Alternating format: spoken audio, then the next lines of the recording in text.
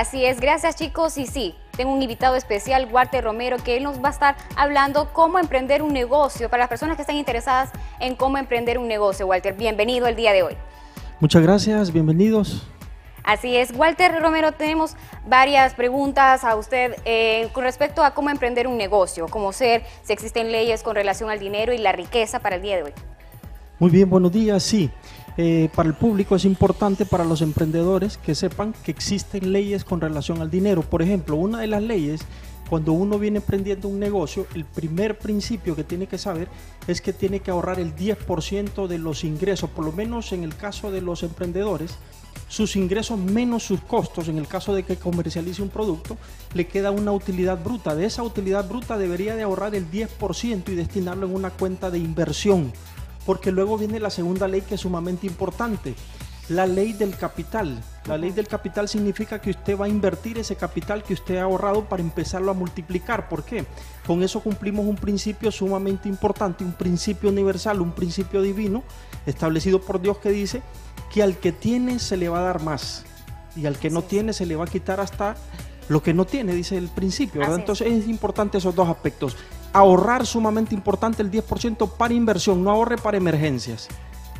Más que todo para inversión, el 10% solamente. 10%, así es. Y otro de los puntos también, eh, hablando en este tema también, porque algunas personas eh, no tienen el éxito cuando quieren, o de lo que quieren también. Básicamente, em, yo puedo, hay muchos aspectos, pero yo podría decir que uno de los aspectos es que la sociedad ha invertido los valores. Uno de los valores, por ejemplo, es que todo el mundo quiere tener en la vida. Todos queremos tener un carro, una casa, queremos tener éxito y luego queremos empezar a actuar, queremos hacer y por último queremos ser, dejar por último el ser. Y, es al contrario. Primero tenemos que llegar a ser mejor persona, mejor ser mejor profesional. ¿Sabe usted que la mayoría de las personas eh, no le gusta leer estadísticamente. Sí, a la mayoría, no sé por qué, a la mayoría no le gusta leer. Unos dicen que les da dolor de cabeza, otros no sé, les da otro tipo de dolor, no sé por qué será que siempre les pega dolor de cabeza a la mayoría de personas que no realmente no quieren o no les gusta leer por ese tipo de cosas, no sé por qué será. Correcto, y, y hay un principio también, la Universidad de Harvard hizo un estudio eh, donde decía que si leemos por lo menos una hora diaria durante tres años, vamos a ser expertos en el campo en el que estemos eh, practicando. Después, al cabo de cinco años de que estemos leyendo una hora todos los días, vamos a ser expertos y reconocidos a nivel nacional y al cabo de siete años vamos a ser reconocidos a nivel internacional. Y eso es sumamente importante. Mi persona lo ha practicado desde hace muchos años y créame que es un principio que se cumple. Claro, y, más que todo el saber. Porque imagínense que uno leyendo, uno puede eh, agarrar más conocimiento de algunas cosas y también a la práctica de uno de leer. Pero también quería eh, preguntarle otra cosa.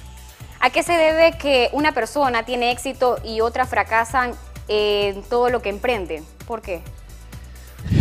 Yo diría que hay aspectos sumamente importantes. Número uno, la mayoría de las personas no saben lo que quieren, por lo tanto no tienen una visión clara de la vida, no saben hacia dónde van.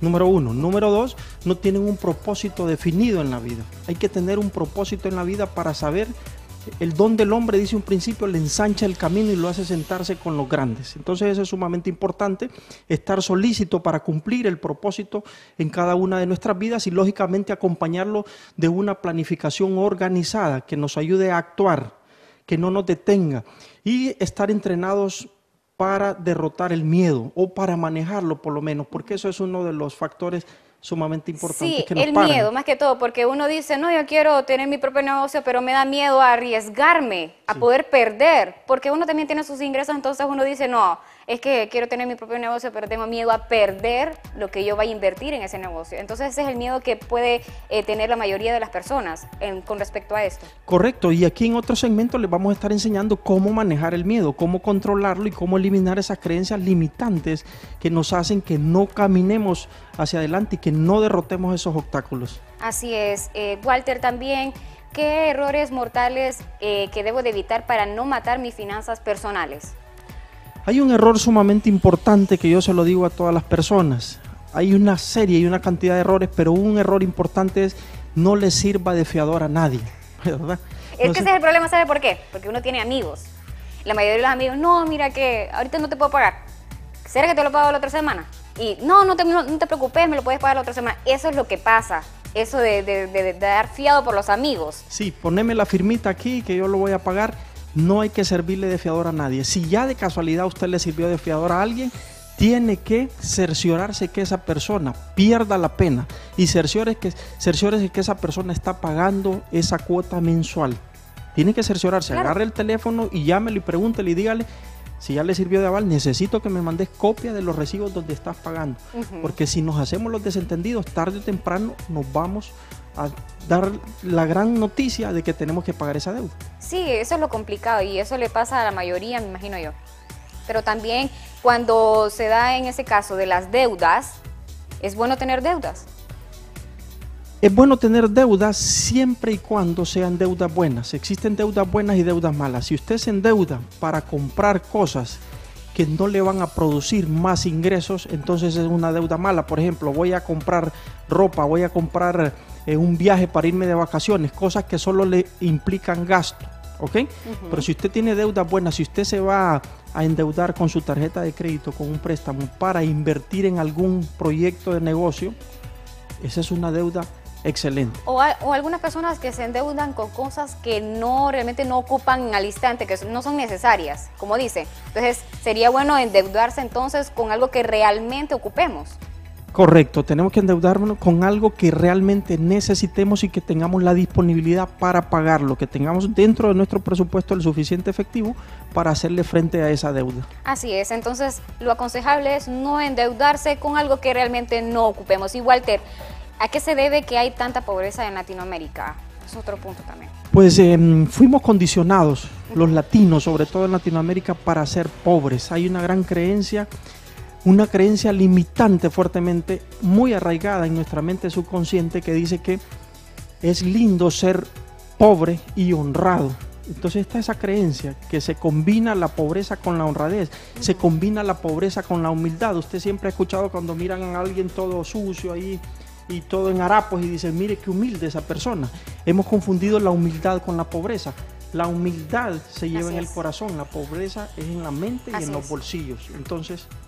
Hay que tenerlo muy claro. Y claro, quiero invitarle a que comamos un pedacito de pastel, porque hoy estamos celebrando, estamos de fiesta, Campus Televisión está de fiesta, porque estamos celebrando el 7 de aniversario aquí en Campus Televisión, siempre brindándole a usted la mayor información y sobre todo servirle a usted que está viéndonos ahorita y bueno, vamos a compartir con nuestro compañero Walter. Ahí está, el pedacito de pastel de 7 de aniversario de Campus Televisión. Felicidades a Campus Televisión. Un honor estar y un privilegio aquí con ustedes. Así es, muchísimas gracias por su compañía, por sus consejos, por sus tips y pues invitarle a usted también que todos los viernes vamos a estar acompañados de Walter Rumero. Así que muchísimas gracias, Walter. A la orden y saludos a todos.